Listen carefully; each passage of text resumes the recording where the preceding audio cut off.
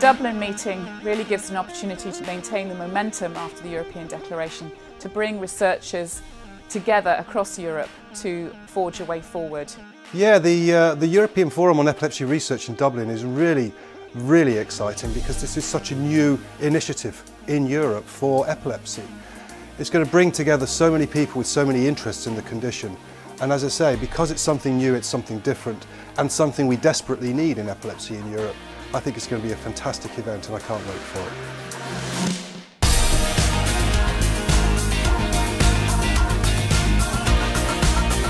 Uh, we would like uh, all stakeholders uh, in epilepsy to attend uh, the Dublin Forum.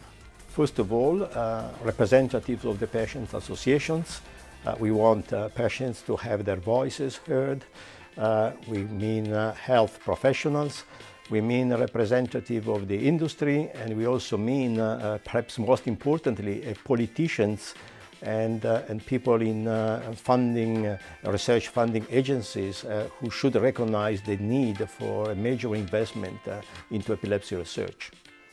It is very important for people working in epilepsy, for politicians, for policymakers, everybody in Europe who has a say in healthcare and research in epilepsy.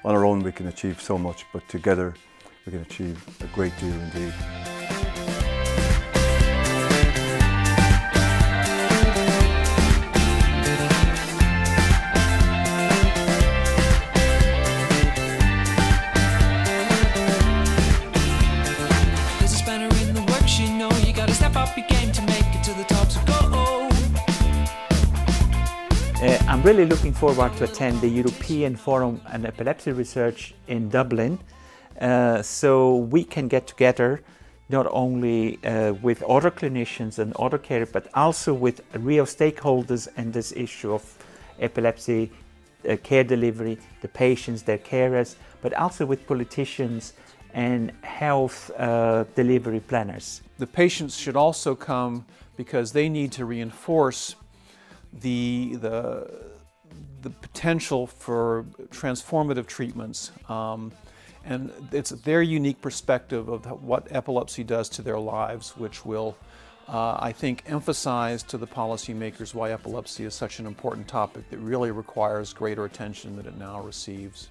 The document that will come out from this meeting will present the opinion and vision where we are aiming at in research, improving access to care and reducing stigma.